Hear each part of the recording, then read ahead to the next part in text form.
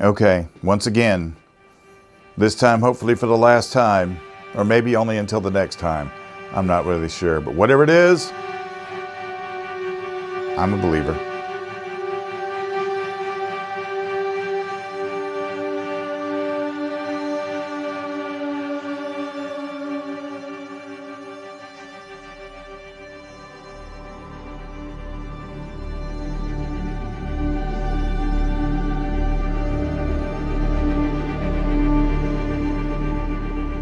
Hello there, YouTube, Lock and Load Ninjas, interwebs at large, Rumble, if I remember to post it on there. Hey, how's it going? Um, just back off the range with this gun, the SIG P320 VTAC, one of the X series. I'm fairly sure of this configuration because I bought it new. Which, administrative note, I know now that this is actually a X compact grip module with a uh, with a I believe a X carry slide.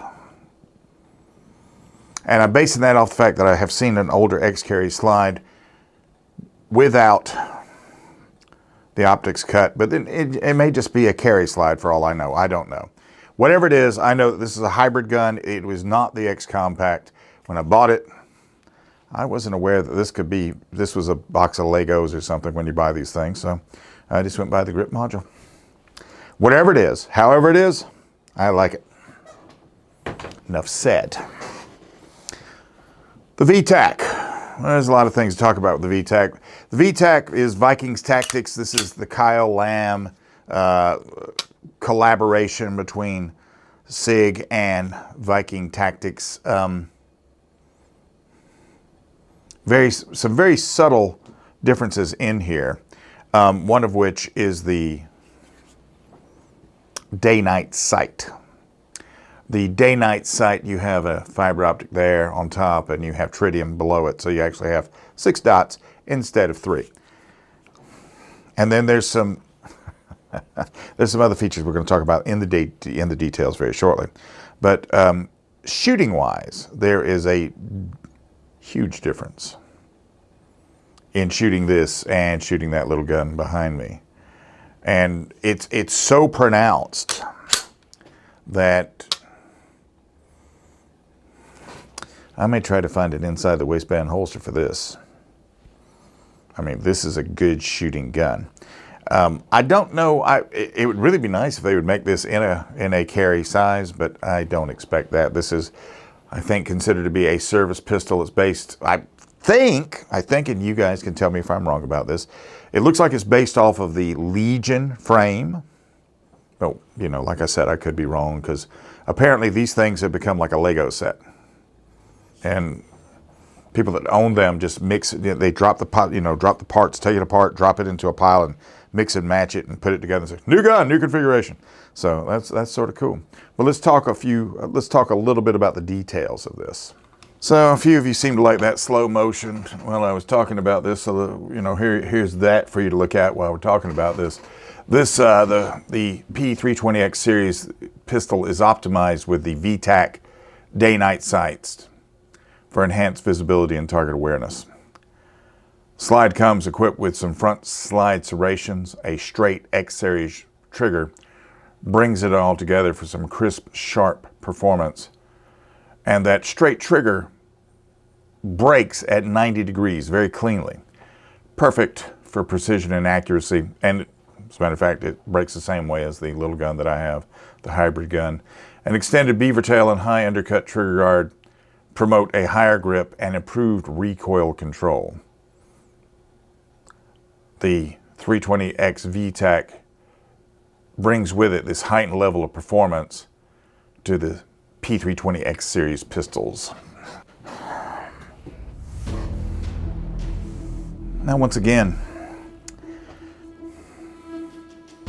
unless it comes together on the range, that paragraph I just told you about, that doesn't mean nothing.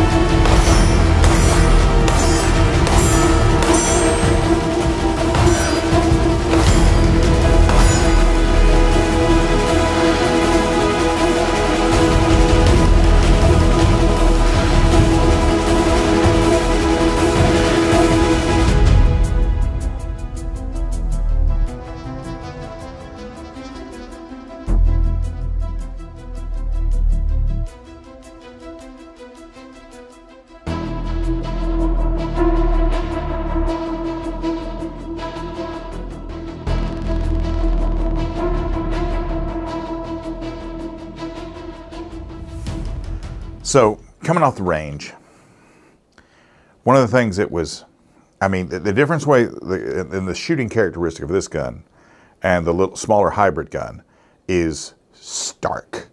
I mean, it is so much better. Um, maybe it's because of the weight. Maybe it's because of the of the sights. Maybe it's just because of the longer sight radius. I don't know what's baked into this to make it so much better. Um, the grip is a little bit bigger.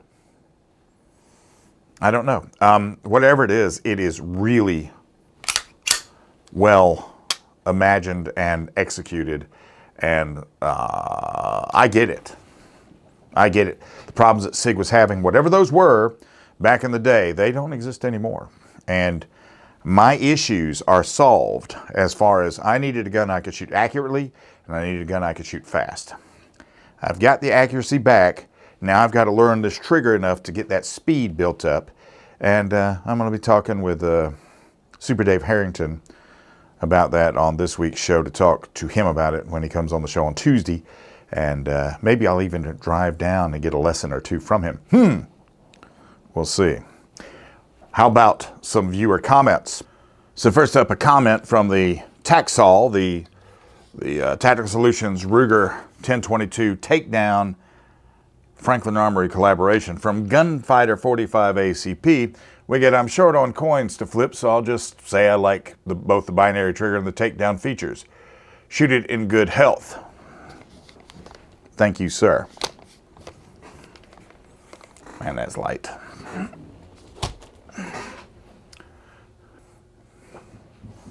Then from the erroneously named uh, SIG P320 X Compact video, my apologies, we get Chris B. That doesn't look like an X Compact, it's too big. You're right. You are absolutely right, Chris. And then from Keenan Gilliam, Love the X Compact. Many probably told you you can expand it with various modules. Have at it. The sky's the limit, especially now with aluminum frames modules out in on the market. I might do that later. I don't know. I don't know. I've had a few people recommend the Wilson Combat frame for that. I don't know. I'm just happy to find two pistols I can carry dedicated for different purposes that are both accurate, that I can figure out how to shoot fast once again. Let's wrap this up. In the next couple of days is something I'm going to film the video for the belt rig that I got for this from High Threat Concealment. The low vis belt, uh, this is one that I refer to as the Secret Service belt, although I've got a stacked AR-15 magazine setup, so I don't think this is going to vanish underneath a sport coat. So maybe not the Secret Service.